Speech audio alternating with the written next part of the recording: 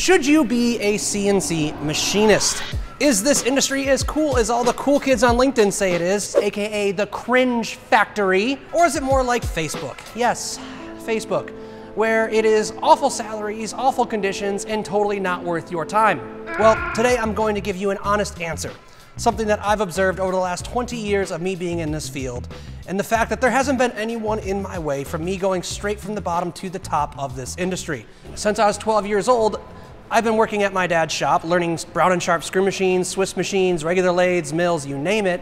And since I was a kid, I've honestly absolutely loved this field. See, child labor laws don't really apply to your own children in America, so gotta hand it to my dad. He, uh, he was a businessman. But either way, I've always loved machining. I've always honestly found it fascinating. And that right there is honestly what has led to me getting to the point I'm at now, where I can just come into work on a Sunday and make YouTube videos. But after my dad's shop, I hopped around from company to company until I wound up at Dynamic Machine of Detroit. Now, this definitely was the turning point in my career. Once I worked at Dynamic, pretty much every other day I was going to a new company, seeing how they work, the good companies, the bad companies, the big companies, the small companies. I got to really see it all. And this really was for me the biggest turning point in my career as far as, well, seeing how the whole industry works. So there's a few things that I've learned over my years working in this field, and that's what we're gonna go over right now. Number one, I wasn't the super machinist that I thought I was. In fact, not even close. Really, I had no idea how small my world was in the manufacturing world until I was exposed to the entire industry. And this is why when I get rude comments on my channels now, they don't really bother me because I can tell the type of mindset some people have. It is very similar to the way I thought before I went around to all these companies and was honestly immediately humbled. Two, there are bad companies and there are good companies, but there are also good people and bad people that work at these companies. Not all machinists and not all machine shops are created equal. The main thing you need to know is to not let these bad people drag you down. Don't let them, because honestly, you'll blow right by these people if you listen to the rest of this video, I promise. So the third thing I observed was a lot of the successful people I was meeting in this field going around working for Dynamic a lot of them started with nothing. A lot of people that I have met seriously started with a Bridgeport in their garage, built their own business over time, and have become millionaires. And for me, I couldn't help but notice this. I kept meeting millionaire after millionaire, seeing so many people make it to the very top of this trade without anyone in their way and starting with nothing it was just mind blowing. The other thing that I found shocking about this was all the people on my side of the industry, the machine sales side of the industry, were the same way. I mean, the owners of Dynamic themselves both started with nothing and have built this incredible company from nothing. And not even just machine tool distributors. You also have the people who are running most of the companies that sell machines. A lot of the higher up people at those companies, they started with nothing.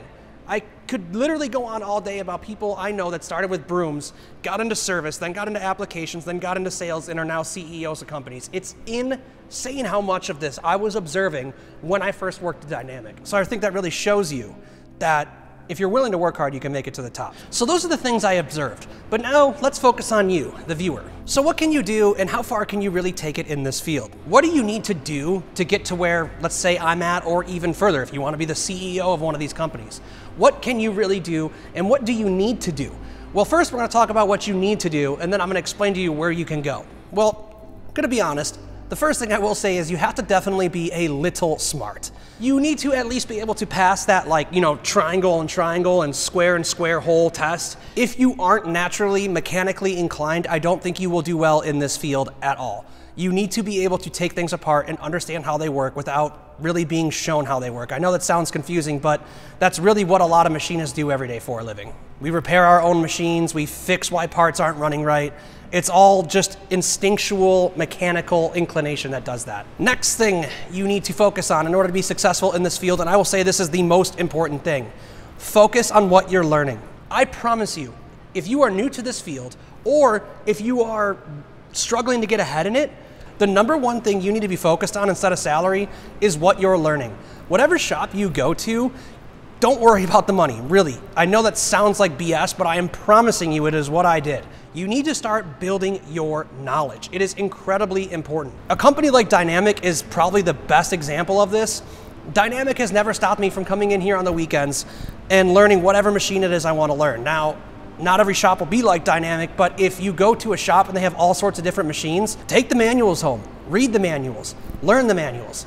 But I will say this the manuals are just the beginning. If you're not willing to do that, then don't be surprised if you're not going to get ahead in this field because the next part I'm about to say is a lot more work. There are countless forms of educational content online right now. So you really don't have the excuse of being able to say something like, I don't understand how G71 works. Seriously, I bet you I could probably pull up five different YouTube videos right now explaining how that one G code works. So yeah, focus on what you're learning and dive into what you know. You will not make more money if you don't know more as a machinist. It is that simple. Get online and start learning stuff if you don't know this field at all. If you are in this field and you've been in it for a long time, then where do you see yourself in 10 years? Do you see yourself making more money or do you see yourself right where you are right now? Because if you aren't trying to learn more and grow, you're just going to be doing the same job in 10 years. Now, for someone like me, that bothers me. I've never been able to look at where I'm working and say to myself, I'm going to be right where I'm at in three years. If I get that thought in my head, I typically quit or move on to something else. I have to consistently keep growing. It's just who I am. I understand you might not be that way, but I think I'm a good example as far as how far you can get in this field if you're just willing to take a manual home and spend some of your free time learning. It's really all that's being asked of you. Now, your learning journey needs to be your priority because this next part I'm about to say is probably going to annoy quite a few business owners. But on top of your learning journey, you kind of also need to be prepared to quit and move on. I know that sounds bad, but the truth is, there's a couple reasons for this. Number one, you can't really expect the owner of a company to constantly be monitoring what you're doing and what you're learning and see your progression at his company. I know that sounds crazy, but go try to run a manufacturing company. You're not going to care about what your mill operators learning or doing or how much better they're making your parts run. You have way more things to worry about. It just it just is kind of what it is. So you might be getting better, but the business owner you work at with might not be able to observe it. You might get lucky, you might find a shop that's good at this, and you might only go to one place and work there for the rest of your life. You might pull it off. But in reality, you need to be prepared to quit. I know that's gonna probably annoy a lot of business owners if they're watching this, but it is what it is. I mean, I, I, I, I wanna be honest with you in this video. And that's what I've been doing for the last few years, the last eight years exactly, actually. I've been going to a company, learning everything I can, and I want to make more money, and I quit and move on. And I've been climbing a ladder these last eight years. That's what I've done to get to where I'm at. And I'm not going to lie to anyone and tell them that's not what they need to do if they're in a similar situation as me. Because most likely you're going to have to do something similar if you're a CNC machinist. It, it is what it is. If you are a machine shop owner and you're watching this, maybe try to get better at paying attention to that because you are gonna lose good people if you don't give them more money as they grow. And if you actually are the skilled machinist you say you are, then when you go to the next shop, you're going to get paid more. That is just how this works. That's how I've moved up over the years. Next piece of advice I would have for anybody and I honestly would have made this the first piece of advice, but I, I, if I did, I think people would click off because it's kind of cliche, but it's true. The next piece of advice I have for you is don't be awful to work with. Seriously, I cannot tell you how many people I have met in this industry that have gotten nowhere because of their attitude. I know manufacturing can be difficult. I believe me, I've been through it. I've had to learn machines over a weekend to go work at some customer to do some part that I didn't understand how to make. I, have been in a lot of situations like that. If a business owner comes up to you and asks you to do something like work a weekend or do something, and you're constantly giving awful answers about how, oh, I don't want to do this, it's not my job. Uh, if you're constantly doing that, then they're going to start to see you as a less useful person, which means when raise time comes around, you're not going to make more money. Or when an opportunity to move up comes around, you're not going to make more money. Nobody likes working with negative people. I could give you so many examples of where I have made thousands and thousands of dollars off of people who have bad attitudes. I'll just give you one though. I was at a customer doing contract work. This was in between, you know, a stint I was working at Dynamic. And this customer flew me out to a whole different state, got me a hotel, even hooked me up with a convertible rental car. It was pretty cool. And when I went to the shop, he was asking me to do things to fix this Swiss machine, have it running that, which by the way, I'd never worked on the Swiss machine before, but the whole plane ride I was reading the manual.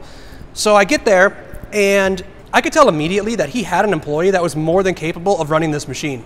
So why wasn't he using that employee? Well, I asked him, I said, why don't you just have this guy do it? And he was like, dude, I hate dealing with that guy. Every time I ask him to do anything, he's a pain to deal with. And yeah, honestly, I think I'm just gonna fire him as soon as you figure this out. So think about this. I'm getting paid $200 an hour.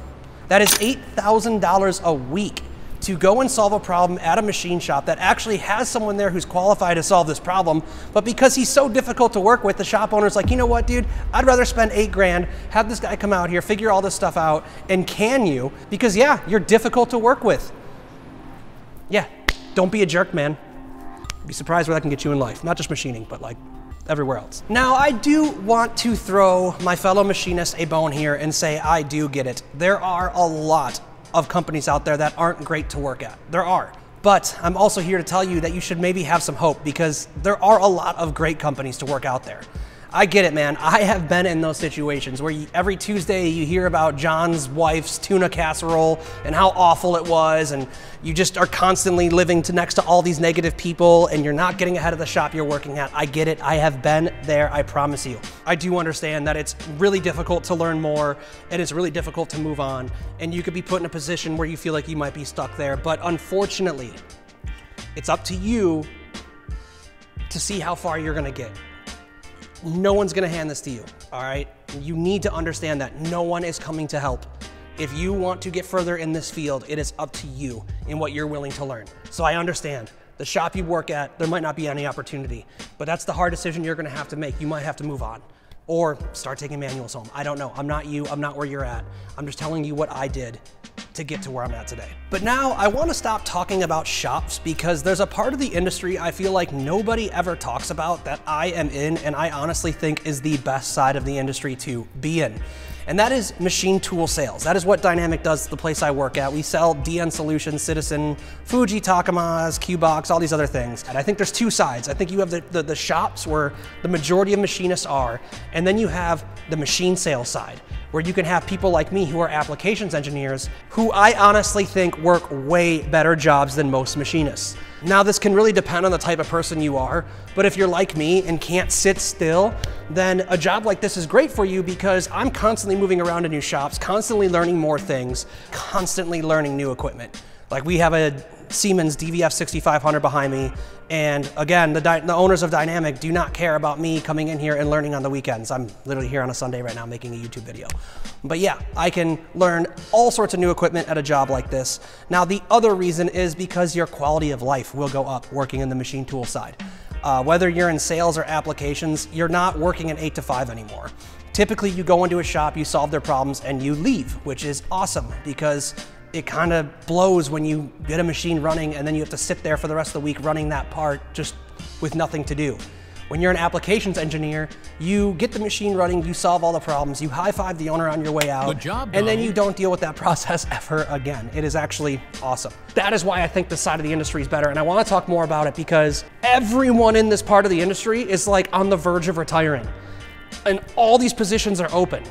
And what's crazy to me is all these positions are taken by people either, I mean, some have degrees, but so many of them don't have degrees. So many of them started with a broom and then got into applications and service and are now the CEO of some machine tool sales company, making a quarter million plus dollars a year. It's insane how much of this I've seen. And if you haven't been a part of this side of the industry, whatever you're thinking in your head right now, times that by 10. That's how many positions are opening up. Seriously, if you've haven't been listening to me yet in this video, listen to this right here. Almost every CEO of every single company is gonna be retired in 10 to 15 years. All these people need to be replaced. All the high-end sales guys need to be replaced. All the high-end apps guys need to be replaced. All these people are retiring, and there is next to nobody to fill these jobs. I mean, the desperation I see in this industry right now. These companies have no idea what they're gonna do. For those of you who are willing to put in the work, willing to have a good attitude, and willing to learn everything they can when it comes up. If you can get into my side of the industry, the machine sales side, the application side, the service side, whatever, and continue learning and growing, there are so many crazy opportunities for you. It's insane. And that is really what this video is about. Those opportunities are going to open up in the next decade, and they're all open for everybody. They could be open for you you could wind up in these positions really soon. There is a whole side of this industry that is just dying for people right now. I think I've said that three times. So yeah, I hope the point's across. Another thing about working in the machine sales side of things, especially as an applications engineer, is that it is really rewarding how much you get to teach people stuff. I can't even begin to tell you how many lives I've personally changed. My ex boss, I don't even know what to call him, uh, his name's Chuck. He works on the citizen line here. He's the same way as me. He's taught hundreds and hundreds of people in the state of Michigan. And he also agrees that it's super cool when you teach people stuff and then go back there five years later and you see how much further they've gotten. Like the people who are really motivated to learn, it is crazy to see how far they can take their careers. So that's another thing that I think most people would find rewarding working on this side of the industry. So there is one last thing I want to talk about, and that is the social media apps you might be able to put yourself on to help get yourself further in your career.